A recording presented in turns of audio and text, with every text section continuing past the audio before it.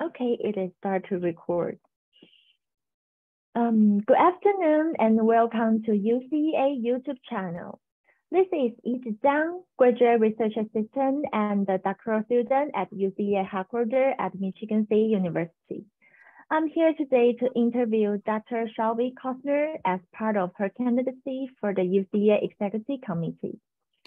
Today, listener will be hearing from Dr. Cosner a professor of educational organization and leadership in the Department of Educational Policy Studies and the director of the UIC Center for Urban Education Leadership at the University of Illinois, Chicago.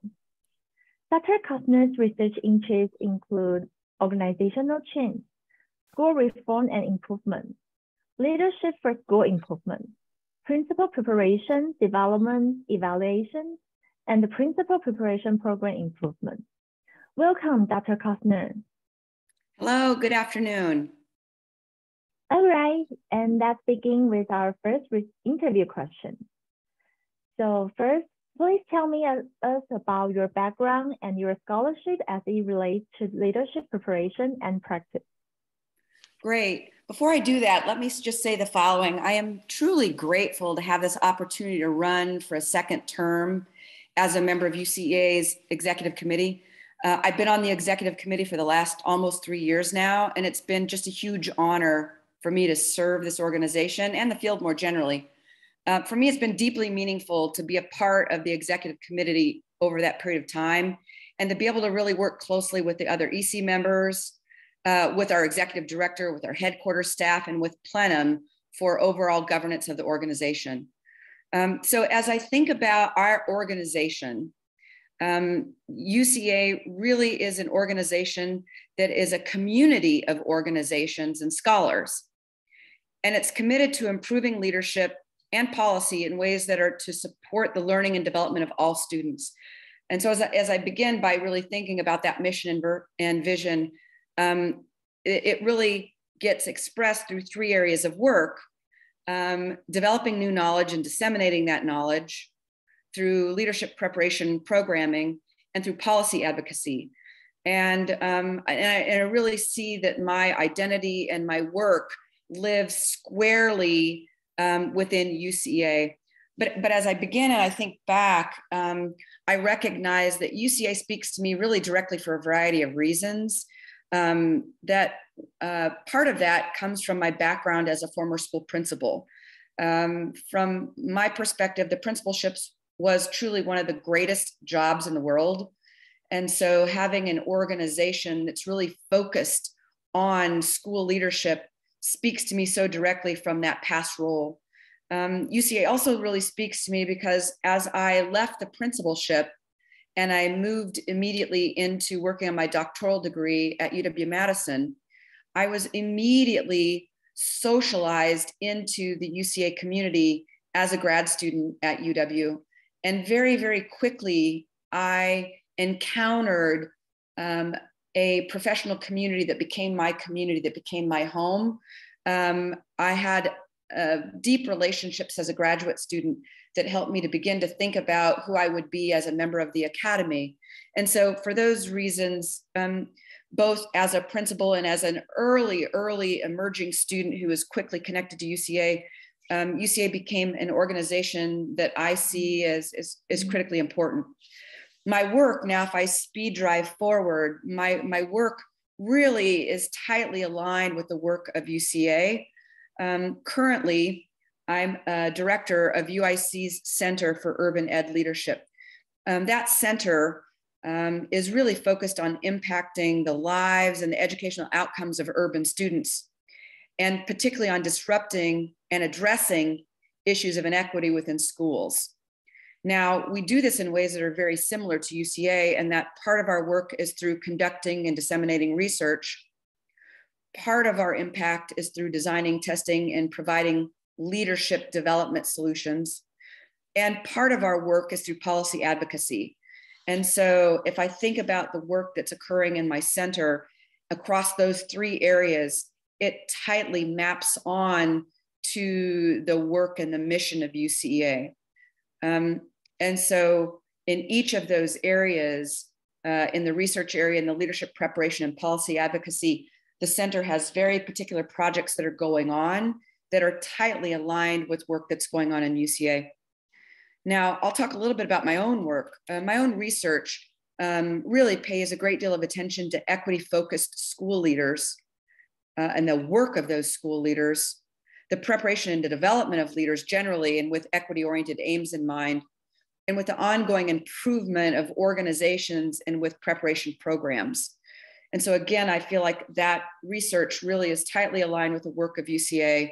Um, and it allows me to think carefully about how I can use my research and my research expertise to influence or impact areas that are important within our organization. Now, another area of my work that's very deeply aligned with work and the mission of UCA relates to my work with the Wallace Foundation. Um, since 2016, I've been engaged in two separate Wallace Foundation projects at the national level that are related to enhancing principal preparation.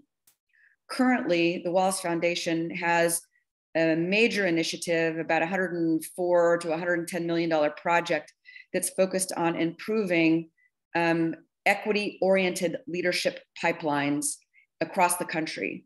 Um, there are eight school districts where this work is occurring, and um, I am a part of that work.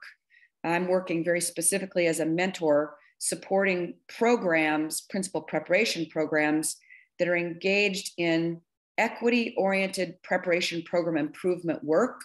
Some of those programs are UCEA member institutions. Um, I'm one of just two faculty members that have been tapped by the Wallace Foundation over both projects, the current one, ECPI, the Equity Centered Leadership Pipeline, and the former project, UPPI, um, to really help principal preparation programs strengthen their programs, and particularly with equity focused aims.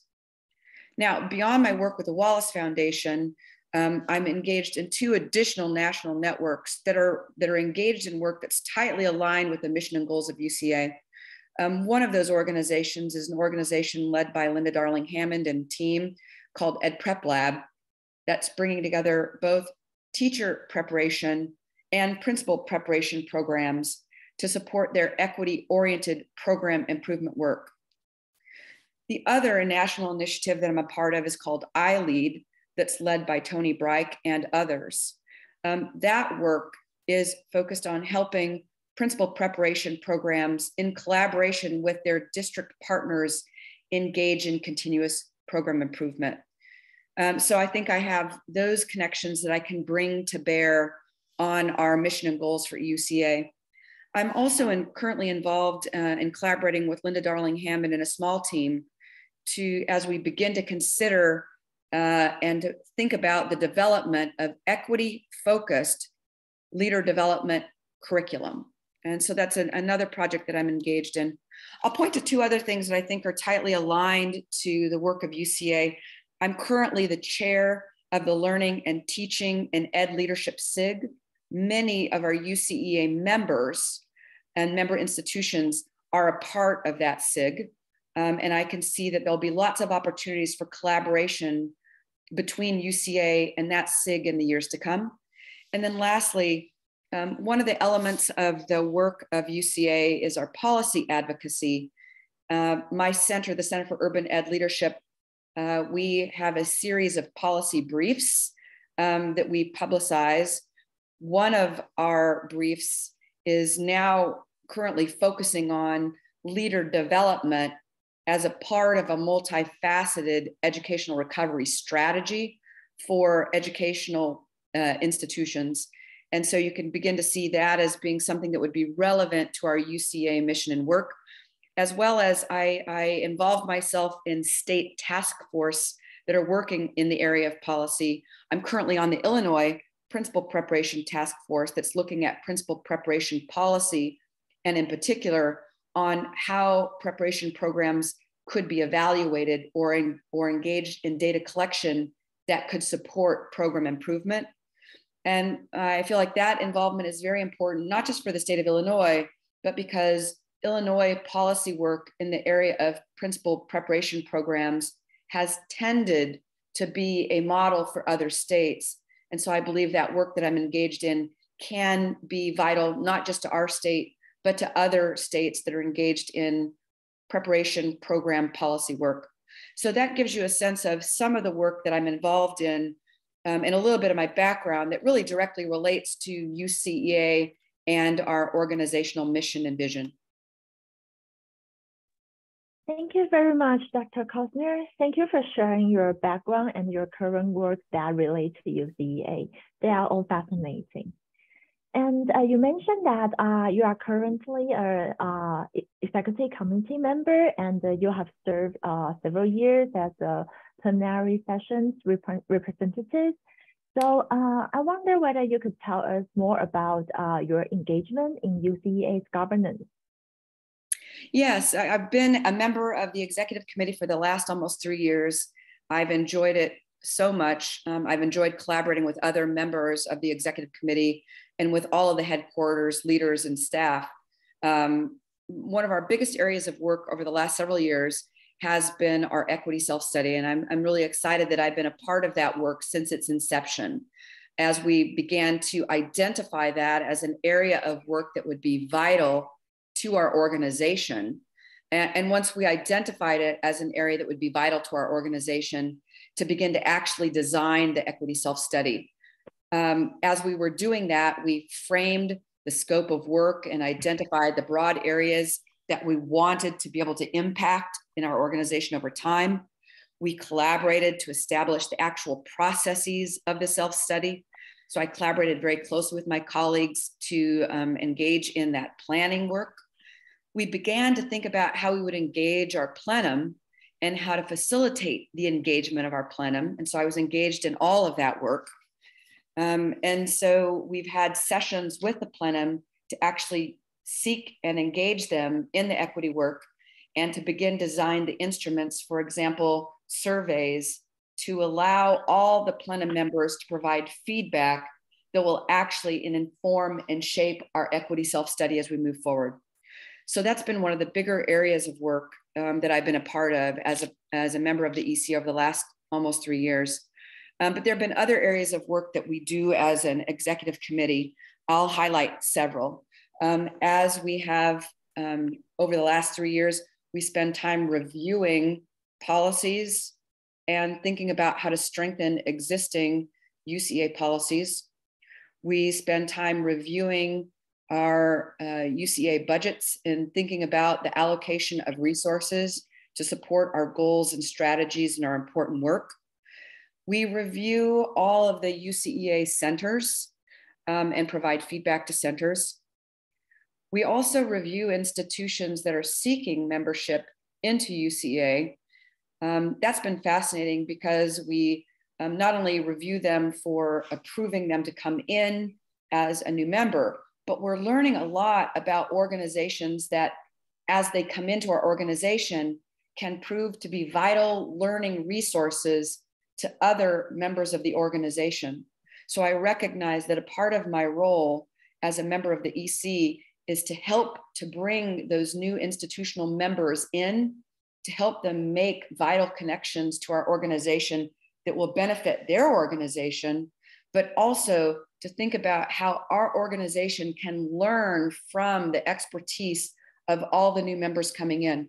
So I'm paying careful attention to those sorts of things as I'm reviewing those materials and as I'm interacting with those new members, because I want to ensure that when we bring members in, that we are gaining the most from making broader connections across our organization.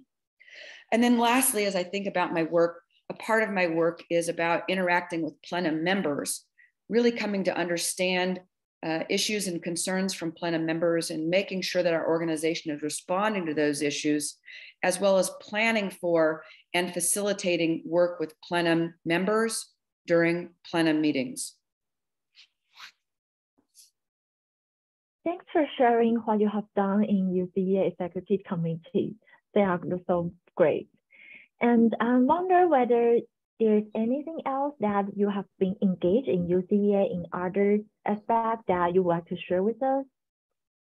Oh, there are a number of things that I would share beyond my immediate work um, as a member of the executive committee. So I'll start back to say that I've been involved with UCA for a little over 20 years now. And as I'd said earlier, my involvement with UCA started in my very first year as a grad student at the University of Wisconsin Madison. Uh, it very quickly, I was socialized into the community at UCA by uh, faculty members at UW Madison. And I recognized how vital the community was to me at that point in time. Um, in my early years as a grad student, I was a part of the David L. Clark Seminar. So I could recognize firsthand the importance of that sort of seminar for early career development. But even more importantly, the importance of mentoring. Um, I experienced a community around me that provided numbers of mentoring opportunities that I could engage in and benefit from. It helped to shape my um, identity as somebody now who is a senior scholar, where I really recognize how vital it is for me to look across the UCA community, think about how I can support our early career scholars and get engaged in meaningful ways to support their development um, through UCA different programs that I've been asked to be a part of, as well as working with individual early career scholars that approach me during UCA meetings. Um, so I think those early experiences that I had as a as an incoming person in UCA really shaped who I who I am now as a more senior person in our organization. Um, I can tell you that because of that, when I um, uh, accepted my position at the University of Illinois at Chicago, I very quickly met with our faculty and started talking about engagement in UCA. Um, UIC was not a member of UCA initially, and I spearheaded our uh, application to become a member of UCA uh, as, a, as a faculty member at UIC. And then later, I spearheaded with our faculty um, our application um, to be considered as a headquarters for UCA several years ago, and we were a finalist for that. Um, so I have a, a, a, very long history of uh, being engaged with UCA, but also advocating for UCA, both within my home institution. Um, I really recognize that it's important for um, uh, members of the plenum uh, to help other members in their home institutions be engaged with UCA. And so, a part of what I've done over the years in my home institution is play a lead role in helping get other faculty members in our department deeply engaged with UCA. I think that's one of the reasons why we were able to um, become a finalist for the UCA headquarters. UCA could see that in our institution, it's not one or two people that are involved with UCA, but yet instead it's a collective group of, of individuals in our department who are engaged in, in UCA. Um, a part of that meant that I had to reach out to clinical faculty members in our um, department to help them to understand UCA as an organization. Um, I took numbers of steps to help clinical faculty members begin to think about how to disseminate some of their amazing work within our UCA environment so that other organizations in our membership could learn about some of the great work happening in our home institution by our clinical faculty members. Sometimes that meant helping them to work on proposal submissions um, and helping them to learn about the general format of sessions at UCA. Um, so I think a part of my work over the years um, related to being engaged in UCA has been helping my organization become deeply engaged in UCA not just because I believe that our institution can gain from that um, engagement, from that deep engagement, but because I believe that our organization has much to share with other organizations in our consortium. And I want to make sure that we're well positioned to be a learning resource to other organizations. So I think that's a part of um, some of my contributions with UCA over the years. I'll tell you, there have been other things that I've been very directly involved with that extend beyond my home institution. Um, I, am regularly tapped by UCA to be uh, a mentor for various activities that are going on that are UCA related. Um, UCA has sponsored early career activities that focus on teaching, and I've supported that. They focused on early career activities that have supported on that have focused on writing, um, and I've I, have i have provided supports in those areas. And they've had workshops that have been focused on grant writing or even uh, uh, prospecting grants. And I've worked with early career scholars in those areas as well. Um, oftentimes, when I've been a part of those formal programs to help our early career UCEA scholars, I've had individual scholars follow up with me and ask whether I would sustain a mentoring relationship with them. And I've done that because I, I, I find that to be something that I've benefited from tremendously over the years. And I know I learn and grow from every kind of mentoring relationship that I've had with early career scholars in our field. Um, I've been tapped to be a part of the Clark, the David L. Clark as a faculty mentor. I've also regularly served on various UCA awards committees over the years. Um, and, and so that's another way that I've been very involved in UCA. In addition to that, and my longstanding service on the plenum, I've also served on UCA's publications board and somewhat relatedly on the editorial boards for JRLE and for EAQ. Thank you, Dr. Cosners. That's wonderful. Thank you for sharing your experience and your engagement with UCEA. And uh, you have also uh, shared your scholarship, research project, teaching, and or service that are related to the leadership work that uh, in UCEA. And I'm curious that uh, how do you do you want to discuss uh, how this experience that uh, particularly informed your work in the executive committee at UCEA? So, as I was talking about earlier, um, the executive committee is is deeply involved in our organization's equity self study, and I do believe that my own scholarship research projects that are going on in the center, work that we have going on in my center, and my teaching and service really can continue to inform the equity self study. Um, my own work looks at the work of equity oriented school leaders uh, and how to strengthen equity oriented leadership preparation and development.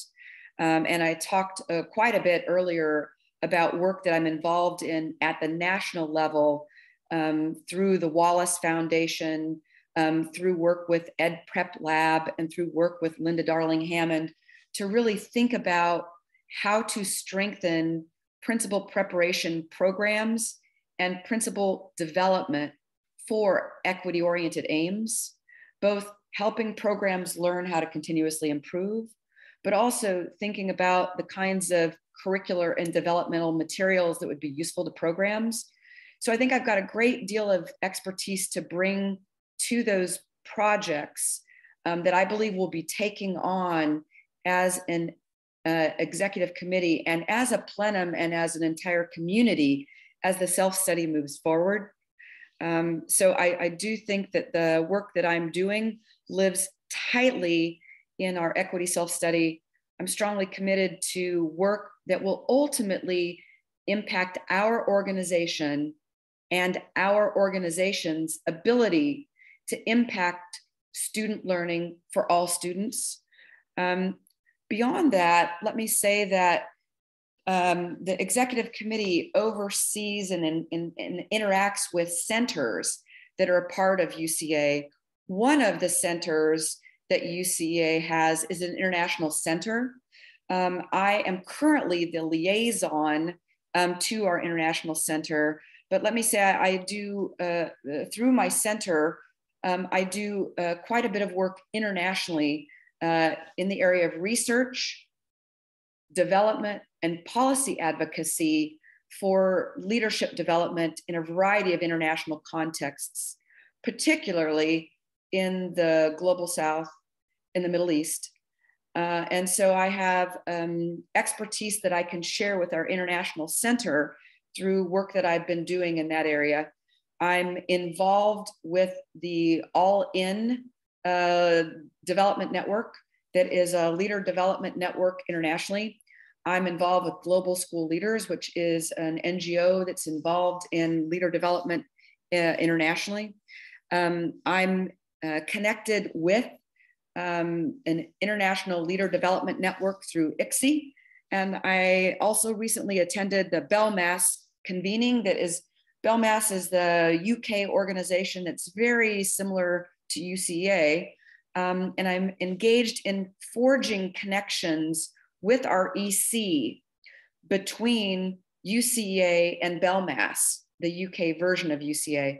Um, and so I think that I can help our executive committee really think about stronger, richer, better international collaboration that can both impact uh, UCA aims in the United States and work that's happening in leader development spaces internationally. Thank you very much, Dr. Cosner. And here comes our last question. Could you share the reason why you have chosen to run for the executive committee again and your vision for the future of UCEA? Yeah, I, will begin by saying it's, it's, as I said, it's been an honor for me to serve this organization. Uh, it's been an honor for me to be able to have this platform for serving our field more generally. I have a real passion and a love for this work, um, for rolling up my sleeves and deeply investing with other EC members, with our executive director, with our headquarters staff, with our center staff, with our plenum, to think about and engage in work that can be meaningful for our consortium of organizations, that can be meaningful for our field more generally, but ultimately that can have an impact on more equitable student outcomes in schools throughout the US. To me, I want to know, not just hope, but I want to know that our consortium of member institutions are having an impact individually and collectively on strengthening issues of um, equity in schools throughout the country. I also want to know that we as an organization are becoming an organization that has a stronger equity oriented mission and vision, and that we are becoming a stronger equity oriented organization for our member institutions. Um, so, both work within our organization and work that our organization is doing to impact children, schools, community, and our country. That, that range of work really is critical and important to me. And it's an area of work that I that I really want to roll up my sleeves and be a part of. That's the kind of service work that I want to make a deep investment in um, because it's really important. Uh, it's important for our organization, but it's important for the students in our schools throughout the country. And I'm just uh, appreciative and really grateful to have an opportunity to be considered uh, on the executive committee for a number uh, for another three years. Thank you. Thank you so much for your time and thoughtful response, Dr. Cosner. And this interview will be archived on the UCEA YouTube channel. Listeners can access or share the interview at any time. We also encourage listeners to post comments and questions on this interview in the comment section. Thank you and goodbye.